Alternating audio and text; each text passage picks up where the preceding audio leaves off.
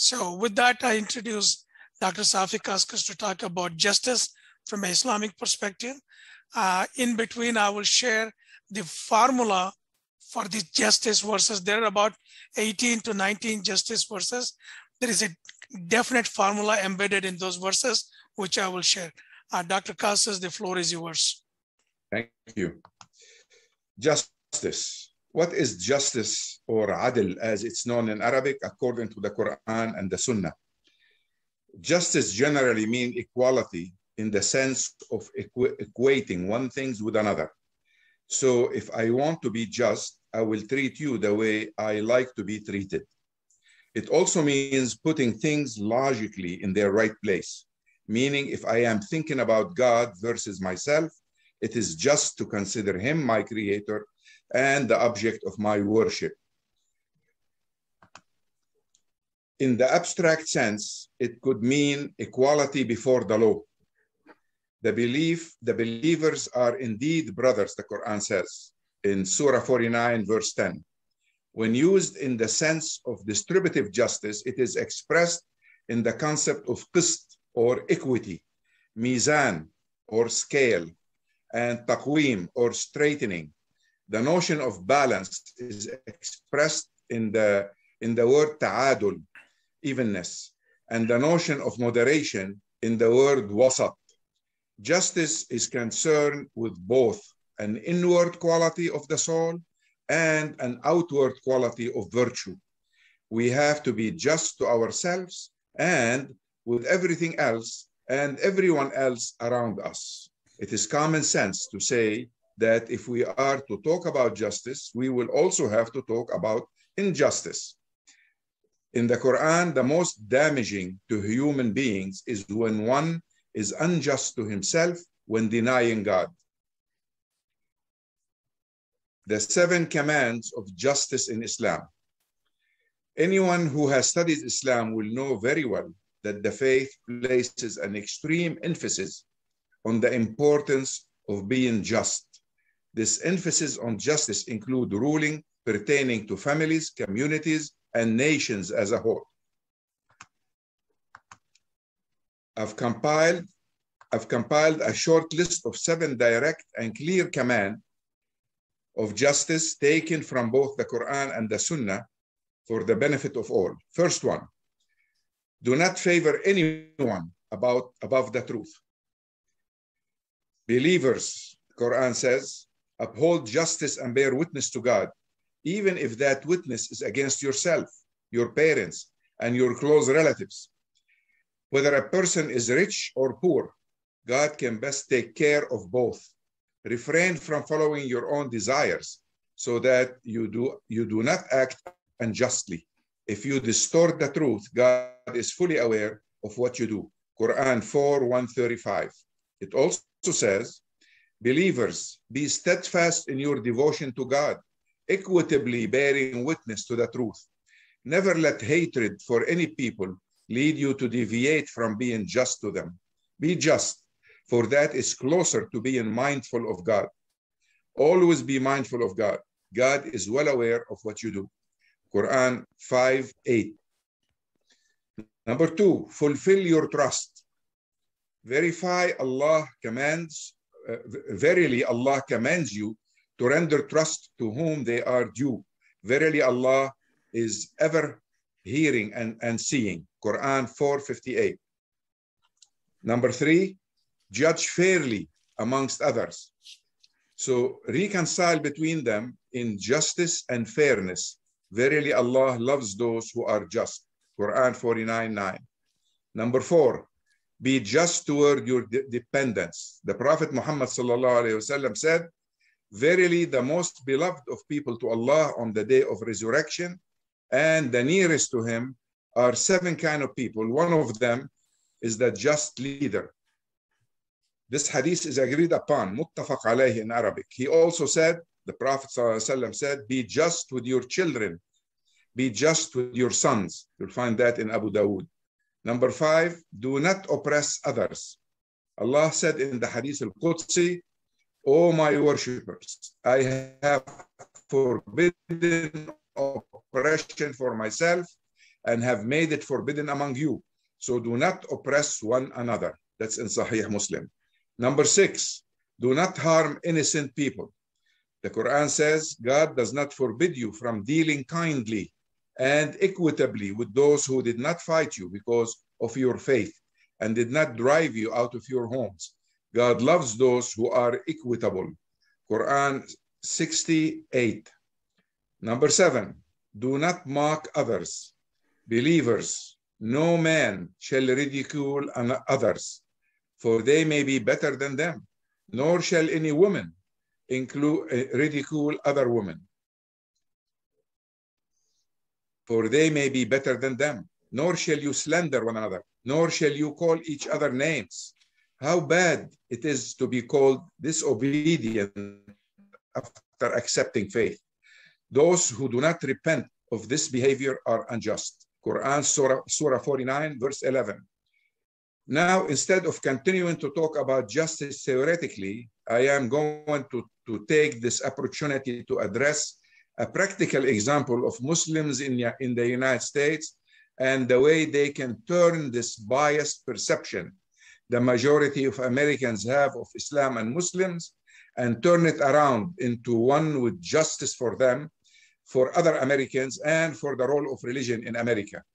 The biased perception was not only because extremist Muslims re resorted to reactionary violence and claimed that this is Islamic, but because American Muslims do not necessarily think in terms of or understand the essence of Islam as it applies contextually to the contemporary scene. And if they do, they fail to explain it in ways that American can relate to or understand.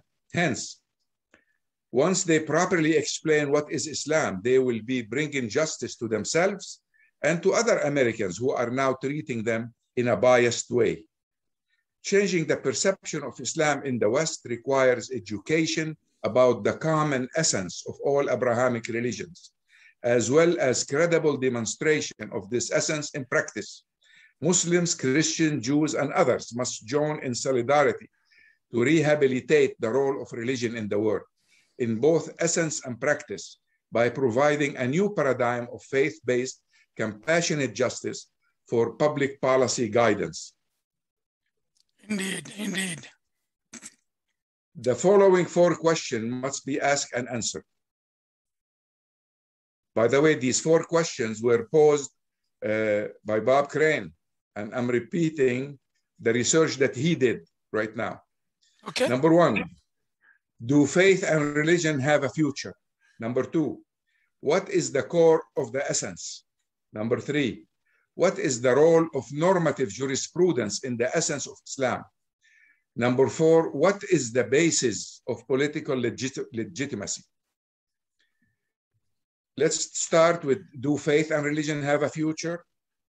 In a world that is growing more secular every day, more people ask whether there is a future for faith and religion. One should distinguish between the two. Faith is belief in the unseen, in transcendent reality, in the ghaib, what is beyond our senses. This is part of human nature and has provided purpose to human life since the first appearance of sentient life on earth. Faith is universal, eternal, and therefore has a future. Faith is the essence of religion. Religion is the response to faith in both individual and community life. Religion is the pursuit of knowledge about higher truth and the translation of knowledge into moral practice. There are many religious paths in the search for absolute truth, and there are many forms of practice, but all are designed for the same purpose, which is to worship the absolute in thought, word, and deed, whether we call it God, God, Dios, or Allah. God tells us in Surah Al-Ma'idah 548, that's one of my favorite verses of the Quran, we have assigned to each of you a law, shir'ah, and a way of life, minhaj.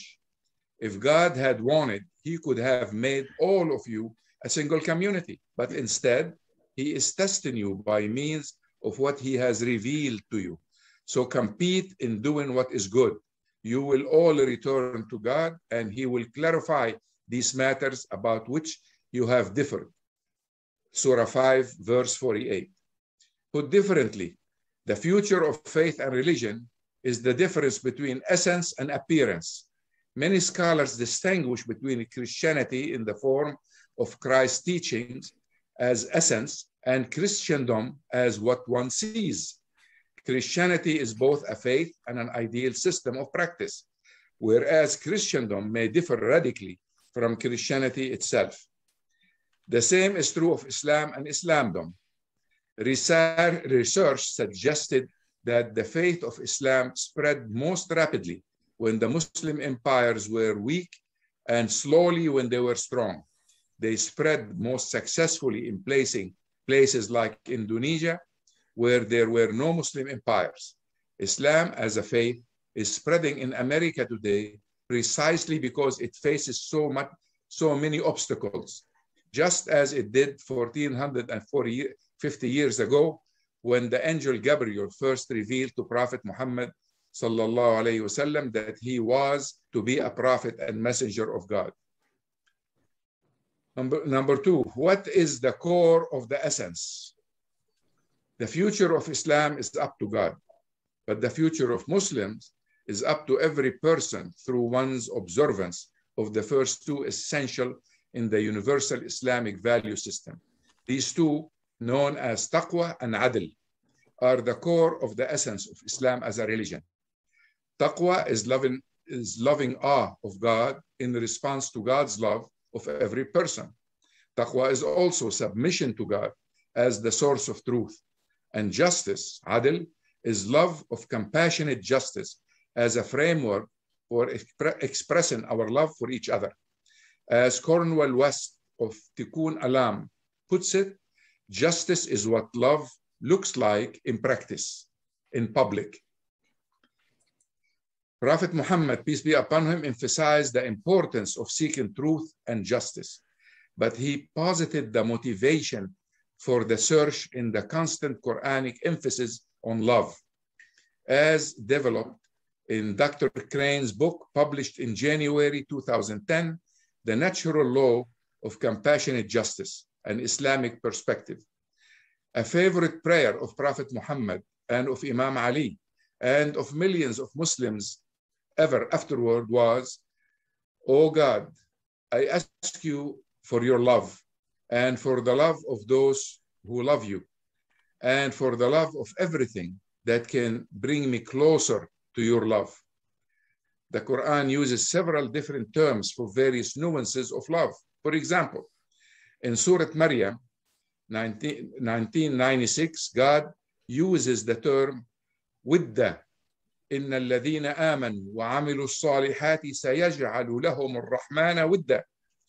The merciful to all will give love to those who believe and do righteous deeds, i.e., bestow on them his love and endow them with the capability to love his creation, as well as cause them to be loved by their fellow man. Islam is known as a religion of peace, salam, which comes from submission to the only being worthy of a human submission, namely Allah. In classical Islamic thought, as developed from the 10th through the 13th century, peace as the essence of Islam results from justice. And justice is merely the expression of truth and love in a communal context. Beautifully said. The most Beautifully profound, said. Thank you. The most profound verse in the Quran as a source of faith-based justice in Surah Al-An'am 6:115 وتمت كلمات ربك صدقا وعدلا The message of your Lords is completed and perfected in truth and in justice. This teaches that justice is an expression of truth and that the truth originates in the transcendent order of reality. Indeed, from the being of God, not in man-made law. Perhaps the second most profound verse in Surah is Surah Al-Shura 42:17, which emphasizes the concept of balance known as mizan. This is central to all, all classical Islamic thought in every aspect of both personal and social life. It is God who has bestowed revelation from on high, setting forth the truth, and thus giving man a balance wherewith to weigh right and wrong. This verse of the Quran teaches that divine revelation through the various prophets in human history is considered to be a balance, an instrument placed by God in our hands by which we can weigh all issues of conscience. A third profound teaching of the Quran is the importance and power of, of power of choice, of which the most important instance is freedom of religion and the freedom to interpret divine guidance in the practice of justice. The concept of choice is central because without freedom to choose, neither balance nor justice would have any meaning. The power to choose between good and bad is the greatest gift from the Creator to the created, but it's also a profound test for every person, every community and nation, every civilization and humanity itself. The Quran emphasizes the importance of the basic power to choose between the pursuit of transcendent justice and the pursuit of material power as an ultimate goal in life. The balance to be maintained in every civilization, as in embodied in every world religion, is among order, justice, and freedom. This paradigm of balance teaches that order, justice, and freedom are interdependent. When freedom is construed to be independent of justice, there can be no justice and the result will be anarchy. When order is thought to be possible without justice, there will be no order because injustice is the principal cause of disorder. When justice is thought to be possible without order and freedom, then the pursuit of order, justice, and freedom are snares of the ignorant. A key to traditionalist American thought based on the spiritually based Scottish Enlightenment, which we were talking about a minute ago, which was the opposite of the secularist Enlightenment in Europe, is the distinction now almost forgotten between freedom and liberty. This fundamental distinction in thought, symbols, and action is portrayed in David Hackett Fischer's monumental 851 pages Home, Liberty, and Freedom, a visual history of America's founding ideas, Oxford University Press, 2005. In classical or traditionalist American thought, freedom implies positive action to pursue higher values as the essence of justice, as distinct from mere liberty, which refers negatively to rejection of restraints on freedom of action. The preamble of the American Constitution lists and prioritizes five purposes. Justice comes first, followed by domestic order, the common defense, and prosperity. And lastly comes liberty, which is merely the result of the first four. Without consensus on the proper nature of order and of justice and freedom as essential part of a single whole, rather than an independent, independ, as independent pursuits, no civilization can continue to exist. The twin roles of religion in all of its traditionalist manifestation, including the monotheistic and especially Islam, are the spiritual well-being or happiness of every person and the maintenance of consensus on the responsibility and rights necessary to live in an ordered society. Students of comparative legal systems differ on whether there is an essence to any particular religion and to any given legal system, or whether each religion is an accumulation of human practices and every legal system is a composite of accidentals developed in response to changing exigencies.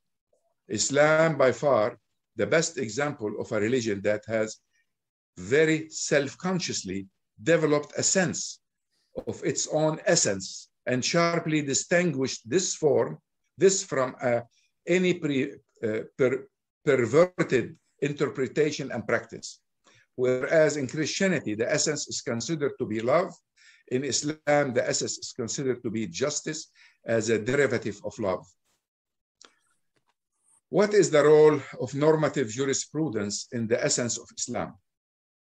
In Western positivist law, which by definition is entirely man-made, law exists only to the extent that it is that it is enforced. In Islam, if the law has to be enforced, it has failed because the purpose of Islamic law is primarily educational as a set of guidelines for action. What are these guidelines? Some of the best minds in human history developed this set of guidelines over a period of many centuries. These guidelines are known as maqasid al-sharia, or the ultimate purposes of the sharia, or as the kulliyat, or universal principles, or as the dururiyat, or essentials. Very briefly, these may be categorized as eight irreducible purposes, about each of which a separate chapter has was written by Robert Crane in the unpublished book Rehabilitating the Role of Religion in the World, laying a new foundation on faith-based compassionate justice, most of which was posted in the Ezine, the American Muslim, on May 30 through June 7 of 2009. The first is Haqq al-Din, the right to freedom of religion. The second is Haqq al-Nafs. These are maqasid al-Sharia, the essentials of maqasid al-Sharia. The second is Haqq al-Nafs, respect for the human person and human life. The third is Haqq al-Nasl, respect for marriage and human community. Fourth is Haqq al-Mahd, respect for the physical environment. Fifth is Haqq al-Mal, respect for the universal right to own and to economic opportunity and ownership of productive pro uh, uh, Sources. property. Yeah. Yes. Number six, حق الحرية, respect for the universal right of self-determination or political freedom. Number seven, حق الكرامة, respect for human dignity, especially gender equity. Eight, and حق العلم, respect for the rights to free speech, publication, and association, and to seek knowledge in every shape and form. I'm almost done, bear with me. Yes, yes. These norms or, guidance, or guidelines constitute the essence of Islamic jurisprudence. They provide a sophisticated methodology for understanding the Quran and evaluating the ahadith, sayings of the Prophet Muhammad, so that the rules and regulations or ahkam can be applied justly according to their purposes. The Quran teaches in Surah Al-Isra 1770, وَلَقَدْ كَرَّمْنَا بَنِي آدَمَ We have honored the children of Adam. As a consequence of being honored by God, we all deserve to have human rights, regardless of our choice of religion or lack of such choice. The ability of a state to provide and guarantee these rights to its citizen is the only justification for the state's existence. India, friends, you're listening to this, the common sense Islam, the Islamic values. Today we are talking about value number seven, justice. Of the 17 values we're talking about, these values contribute to the common goodness of all societies. And these are Islamic values, which are universal values indeed. Uh, Yes. Thank you, Dr. Kaskas. And I appreciate you saying the seven commandments, four questions, and the maqasid of Sharia. Uh, Please continue. I have one more point. Human rights, Yes, the basis for political legitimacy. In other words, without a human right, there is no political legitimacy to any system, regardless what they're called. One of the great blessings that God bestowed upon us is the ability to recognize where we are and to wonder about why we are here and where we are going. The second great blessing is the ability to choose in reaching answers. The third great blessing was divine revelation sent to help guide us to Him, culminating in the Quran.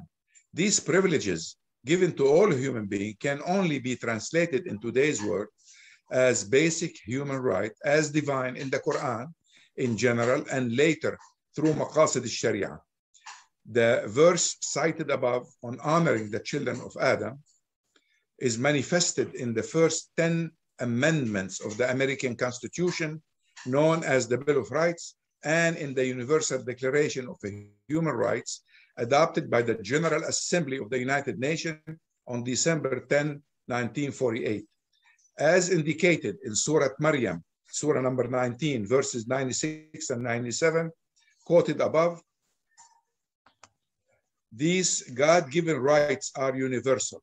Hence, the primary role of government is to ensure and secure every citizen's ability to enjoy these God-given human rights. In fact, no human being should be held responsible for his deeds on earth in the day of judgment in the absence of these basic rights so necessary for our individual ability to choose freely between the guidance sent to us from God and all other choices.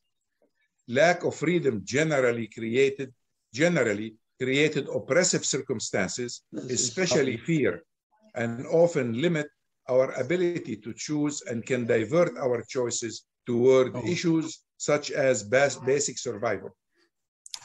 Absence of basic human rights and lack of freedom will create oppressive circumstances similar to those that led the second Khalifa Umar to, to exempt a thief from being punished because the society did not provide the right opportunity to earn an honest living and feed and feed oneself and one's family. Any government, especially one that claims to follow the teachings of the Quran, that fails to ensure the citizens these basic rights, thereby loses its legitimacy, its reason to exist. The last point we have here is number five. Can Muslim change the perception of Islam through a grand strategy of paradigm management? Absolutely. The perception of Islam in America can be changed only if Muslims think big through what we might call paradigm management, and only if the paradigm to be managed is American. Policy making in America consists of balancing special interest in the pursuit of power, but this balancing takes place in pursuit of agendas formed largely in the think tanks and in the media. These agendas, in turn, are sharp, are shaped by paradigms formed, are shaped by paradigms formed primarily in academia. Muslims usually start at the wrong end of the policy process, especially by lobbying against something after the policies have been set and can no longer be changed. If anything, this shows how little they knew the system. We want to change that. The two opposite poles of paradigm- paradigmic management are power and justice. The neocons exemplify the power paradigm, whereby everything is measured in terms of the unilateral imposition of American power, mainly military, to prevent chaos in the, chaos in the world. This approach is based on fear and on reaction to real or perceived threats to global stability. A clear example of this is the war on terror and the failed occupation of Afghanistan. The opposite paradigm is justice. If Muslims can present it as the best alternative to the power paradigm to replace wars and to bring productive peace that can be in the best interest of the United States and the world, and prove that peace is more profitable to the average American, then peace and Muslims will have a chance. Muslims can change the perception of Islam in the United States and indeed of all religions only by rehabilitating the essence and practice of religion, not as the cause of injustice, but as the only cure. In politics, visionary leaders can overcome the seemingly insurmountable obstacles and barriers of special interest only if and to the extent that Muslims, Christians, and Jews cooperate in solidarity to turn the essential vision of all religion into reality, inshallah. Inshallah. Thank you so very much. I'm going to share a few things and then we'll have a conversation with our fellow friends. Uh, you mentioned about the paradigm management changing the perceptions of Muslims, and uh, it is on our part that we have failed. Somehow, some Muslims don't want to deal with the people who uh, accuse us, who false, who tell us wrong things, who condemn us, and that doesn't work. We have to engage with them. There is a power of engagement. I'll give you two examples. Sean Hannity on Fox News was bashing Quran four years before every night. When I sat down with him with a copy of the Quran and shared with him, for example, he says, kill the infidels wherever you find them. And I said, okay, take that verse. We went to that verse. And this is the formula I showed him. If the bad guys pull over in a truck in front of your house, you tell them to back off. They're, they're carrying the guns to shoot you. You tell them to back off. If the bad guys keep coming at you, you tell them still back off. But if they jump on you and want to throw you out of your own home, your own space, you, you get your act, and start shooting. Exactly. You chase them. Yes. And when they run and hide behind the bushes, you find them and you are ready to shoot them. You can do that. That's what most Americans do. That's what justice is about. But there is something more Islam has offered here. If those people regret, repent that I made a mistake, I will not do it, Quran tells you to make peace with them. And that is the most important part of the justice part of Islam. So I explained this to Hannity and I showed him some examples in the Quran. I gave him a copy of Muhammad Asad translation. And uh, he, at that time, I didn't have your translation. It is about six years ago. We, we talked about the Quran on the stage with him. And after that, he has quit bashing Quran after that for a long time. And this is how we can change perceptions by engaging with them. But as uh, Dr. Kaskas it is a very humiliating experience. They will tear you down. They will condemn you. They'll make you, they'll belittle you. If you can bear that out for a short period, then they will listen to you. And that's what happened with Hannity. I listened to him. And he said at one of the meetings, you know why I want to do what you asked me to do, that is not bash the Quran, because you are my only Muslim friend. You put up with me for four years. You did not argue with me.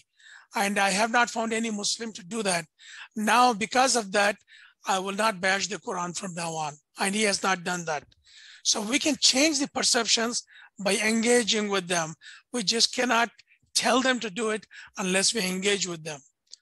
So um, your comments, and then we can uh, ask Bob Crane, Ibrahim Sayed, and Abu Bakr uh, Ibrahim. We have two Ibrahims. Uh, actually, I, I always use you as an example because you almost went and camped at Fox News and made sure oh, for years you don't leave. Regardless what they tell you, how they insult you, how they try to belittle you, you just stayed there. And uh, in fact, if 10 Muslims have done that in their 10 towns, we would have changed the image already. But they're not doing this uh, you know, various Muslims had various reactions to 9-11. Yes. Some, some hid away. They didn't want to be seen. Others went to the mosque and Islamic center seeking uh, protection in numbers, you know. And some of us did what you did. And I, I chose to do a Quran translation, for, for instance. Uh, I chose to educate rather than confront. Uh, I remember Bob Crane telling us, let's don't respond to Islamophobia. And he refused to respond to them directly. He said, leave them alone. Let's talk about what's positive in Islam. Let's don't be reactionaries. Do you remember that? Do you remember that, Bob? Oh, I certainly do. I've always thought that we're much more effective if we emphasize what Islam is rather than get caught up in uh, uh, uh, trying to defend against those who who were corrupted. Yes, indeed. Uh, did I miss Bob any any points when I No, talked you haven't. You haven't missed anything I've said in the last uh, 60 years Yes. hundreds of articles and several books. You haven't missed a thing. Never, Brother, I want, seen I such a good summary. yes, actually, I was praying that you be here today. I because I wanted you to know that your ideas are not dead and they're not buried in books. They're alive. Ideas like Ibn Rushd told us have wings. They Mhm. always go to those who appreciate them. And as you know, I appreciate your ideas a lot. So I use them every time I have a chance. And I give you credit for using them. Well, I'm a long range global forecaster by profession, always have been for government and industry. And uh, I'm always hopeful uh, about the future if I can look far enough in, in the future. Uh, actually, I'm pessimistic, but uh, I, I like to come uh, across as optimistic because if we're not optimistic, then there's no choice but to be pessimistic. I agree, agree with that. Yes, uh, if you want to make a change, we have to make a change. We just can't sit around and be defensive, as uh, Brother Kaka said. We have to take the step to change the perceptions, and we can do it. But it, it has to be based on what I call the essence of all the world religions, which including the the uh, uh, indigenous, which is you know my own Cherokee background, Mhm. uh, uh, which is very Islamic, but it's Islamic uh, in a way that has bothered a lot of Americans. Uh, President Theodore Roosevelt abolished the Cherokee religion and Cherokee self-government in 1905. Uh, and my great uncle, uh, Frank Beaver, uh, led a movement for two years thereafter all around the country, trying to organize the uh, First Nations to demand freedom of religion and, and, and government. Uh, he failed, but uh, what I learned from all of this and concluded is that there, there are two types of justice. One is taught at Harvard Law School, uh, where I got a degree. Uh, uh, and according to that, they call it the uh, case method. Uh, law consists of following previous cases. Uh, in, in order to get a good grade at Harvard, you have to find previous cases that would support the, the current case you're looking at. Um, and I said, but I always want to look at the principles involved. I, I really don't care what was decided 100 years ago. It's interesting. But what principles did they use? Uh, what principles should we use today? Uh, that was considered heresy. And whenever I asked about principles, they would tell me to shut up. Uh, you were at Harvard Law School. well, they you, you're talking. They they like to talk about precedent, and you were talking about principles. Well, I was following the Quran. Yes. Tamat kalimat Rabika sitkan wa adlan. The word of your Lord is perfected um, uh, uh, In truth, in, in truth and in justice. justice. You, yes. First, you look for truth, yes. then you look for justice. yes. And the way to look for truth is to be aware of Allah to begin with, Yes. ta- taqwa, uh, and to study the scriptures, of, especially of Islam, but of other religions too. Um, Yeah. uh, uh, and and there's another uh, quote وَمِنْ مَا خَلَقْنَا أُمَّةٌ يَخْتُونَ بِالْحَقِّ وَبِهِ يَعْدِلُونَ يعدلون. yeah, which is uh, above uh, among those people that we have created are those who uh, uh, uh, are, are aware of truth and use it to promote justice. Yes. The, the, the concept that uh, law should not reflect what we have done in the past. Maybe it should reflect what we should do in the future. Yes. but Indeed. everything that you have said summarizes everything that I've ever said Alhamdulillah. beautifully. Yes. Well, I'm glad to say, I'm glad to learn about it, Bob. I'm glad you wrote it. I'm glad Safi replicated it. And uh, as Safi said, your work is not buried, it is alive.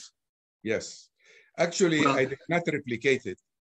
I continued to use it and injected a lot of my own thoughts to it also. Indeed, You know, indeed. Well, see, you have incredible depth of knowledge Thank of the you. Quran. Yes, alhamdulillah. Uh, what, what I say makes sense within your framework. And then that's my conclusion. Yes. Very good. We complement each other, brother. Um, Well, I'm on this. Inshallah. I'm a little guy. I'm in same page with you guys. Wonderful. Uh, Ibrahim Sayed and Ibrahim Abu Bakr Ibrahim, if you want to share some comments about justice. Yes, uh, Well, uh, hello, hello. Yes, go ahead. Who, who, which Ibrahim? This is Ibrahim Abu Bakr. Just Ibrahim go ahead. Abu, go ahead.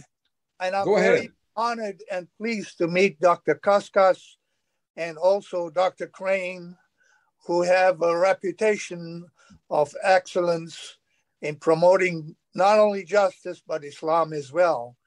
Yes. Uh, regarding the paradigm of justice as enunciated in the Quran and very well explained by Dr. Kaskas, I just wanted to bring to your attention that Harvard Law School, one of the most prestigious institutions of its kind in the world, has posted a verse of the Quran at the entrance of its faculty library, describing the verse as one of the greatest expressions of justice in history.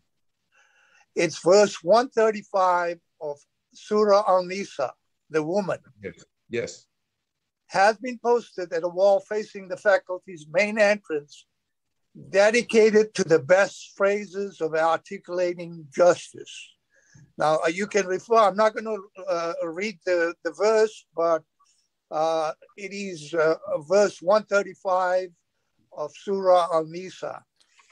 Also, the Supreme Court of the United States has some caricatures on uh, uh, that very historical building. And one of the caricatures on there is a uh, depiction of Prophet Muhammad as one of the greatest lawgivers to have a, ever existed in history. And it includes others, like Justinian and all the other people that are, uh, that are uh, associated with justice justice can be seen as the exercise of reason and free will on the practice of judgment and responsibility.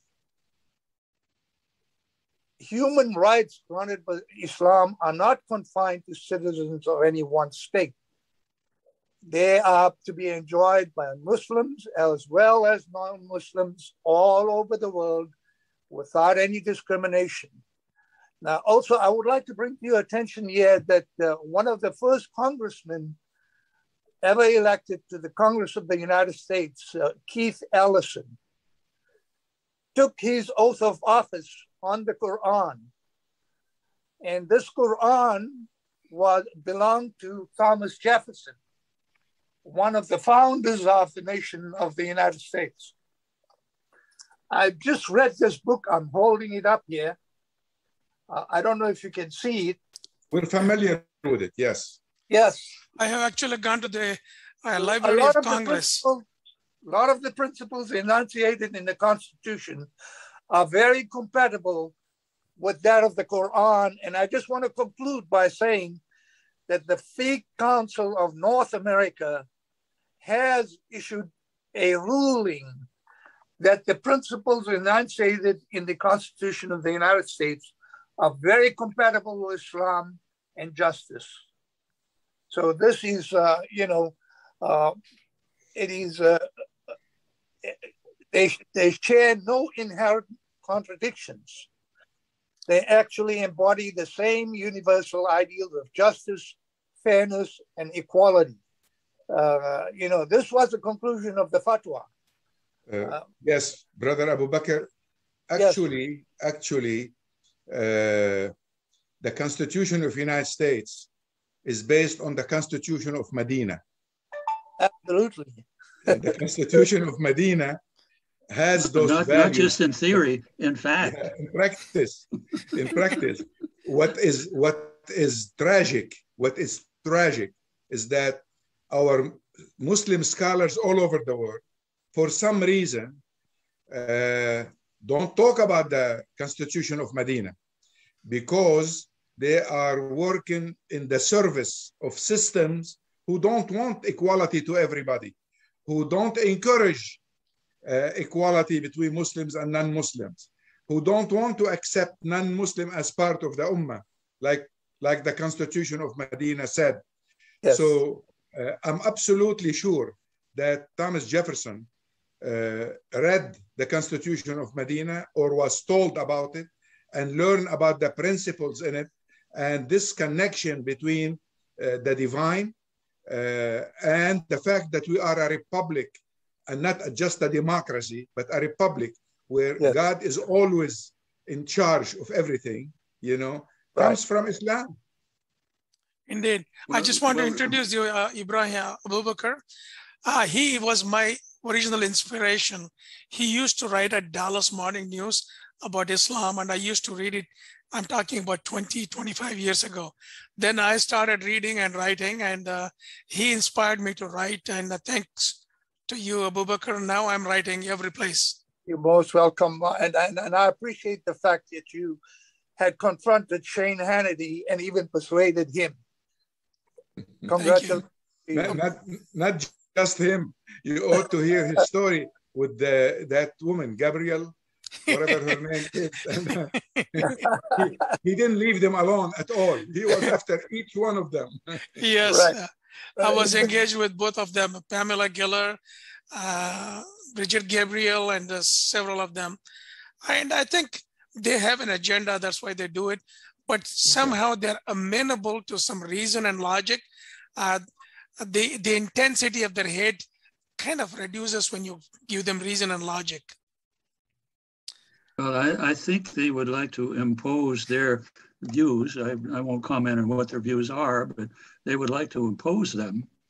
Uh, and, and this, uh, I think, is one of the greatest splits uh, in the United States right now. Uh, whether uh, truth or whatever one, one values uh, can arise in a confederal system rather than a centralized system. Now, Thomas Jefferson uh, was very familiar with the Iroquois Confederation. He in, invited their principal religious leader to Monticello three times, to the White House a couple of times. And that's where he learned the idea of confederalism, which did not exist in Europe uh, at that time. Uh, and the, the, Iroquois and the Cherokees uh, formed their own confederation.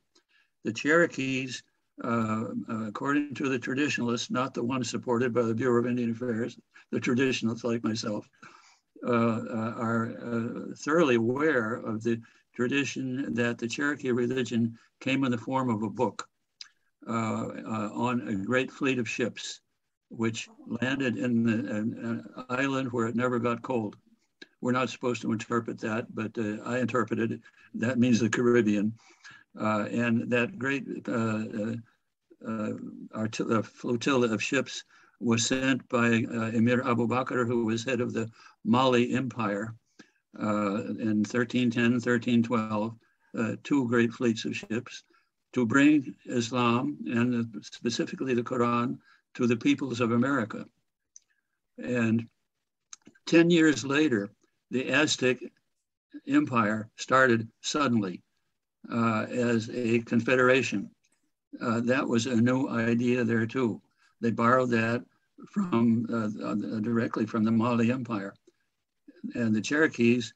Uh, uh, they, they were attacked by the well it's, it's a long story they they, they ended up in looking for the book in the east and they ended up in north carolina south carolina georgia no uh, and since they had a confederation and the Iroquois had a confederation, they joined in a grand confederation. And this fascinated Thomas Jefferson. So that's why uh, he basically started a, a system of thought that based on distributive power, on confederation, as distinct from Alexander Hamilton, who said you have to have a single bank to control everything. The exact opposite. This split between between confederalism uh, uh, and, and, I would call it the the, the system uh, certainly best illustrated in, in Medina by the Prophet Muhammad. Um, that is a, a basic direction uh, for America, and it comes from Islam. Uh, and I think we Muslims should make it clear that uh, we support this founding principle of confederalism. Uh, imperial powers want to create artificial states. They destroy all the, the organic nations that they conquered. And then the organic nations uh, refuse to be destroyed and some of them become terrorists. We say, no, you got to be quiet. We have these new states and, and they have to be totalitarian in order to maintain control and they can't. So then they inv invite uh, military power from the Europeans and the United States. Uh, uh, this is a basic split which will determine the future not only of America, but of the entire world.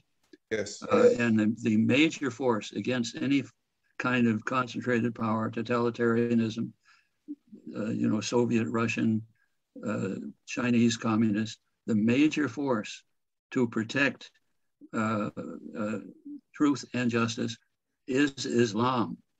And we have to be proud of that.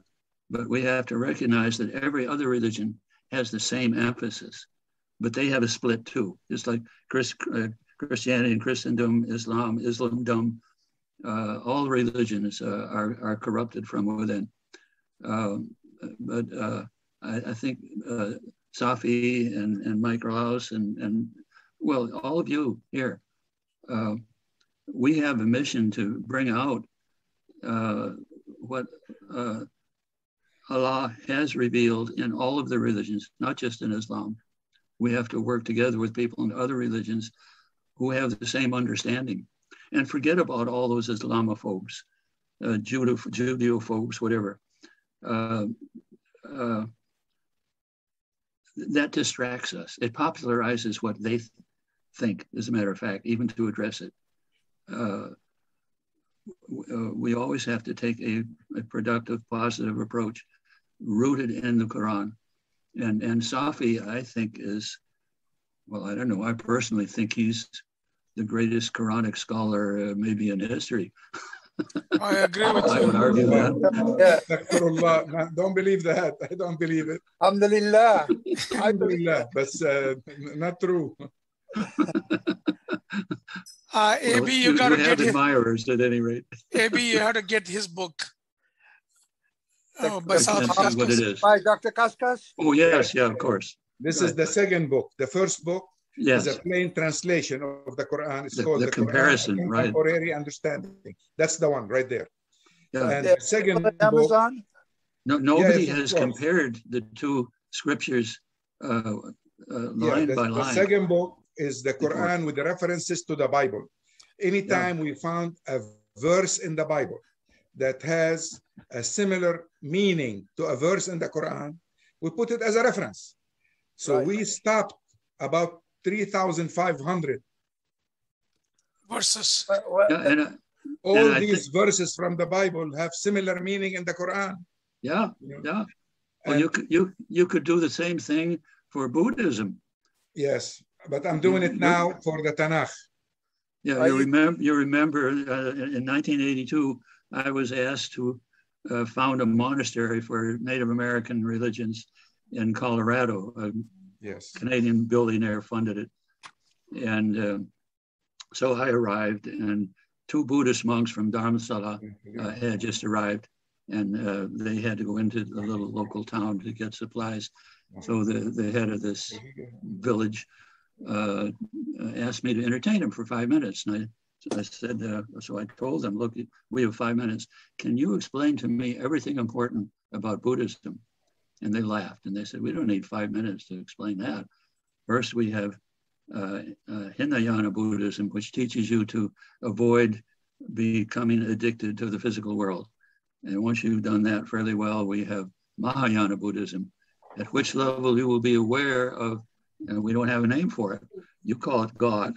Uh, uh, you, uh, any name restricts the meaning. You can't restrict the unlimited. Uh, so we don't have a name, but uh, you, you call it God. Uh, and he said, once we are aware of Allah, our one great hope in life is to bring compassionate justice to every person and everything. And I said, mashallah, you have just summarized everything important about Islam in three minutes. excellent, excellent. brother, brother Abu Bakr, I have the box here. If you want me to sign it for you, just uh, send me your uh, email and I'll send you my uh, and your mailing address and I will send you the information. Uh, Mike has everything. Mike has all the information. All right. Thank you, Dr. Kaskas. It's available on Amazon, right? It is available on Amazon, but to tell you the truth, we'd rather sell what we have because we have a quantity. And if we if we sell through Amazon, hardly anything comes back to us. Oh, okay. I, I will be glad to get it from Mike, and I will purchase it directly from you with a yes, yes. with a, a signature, which I'd be very proud of. Thank you, sir. Thank you. Thank you.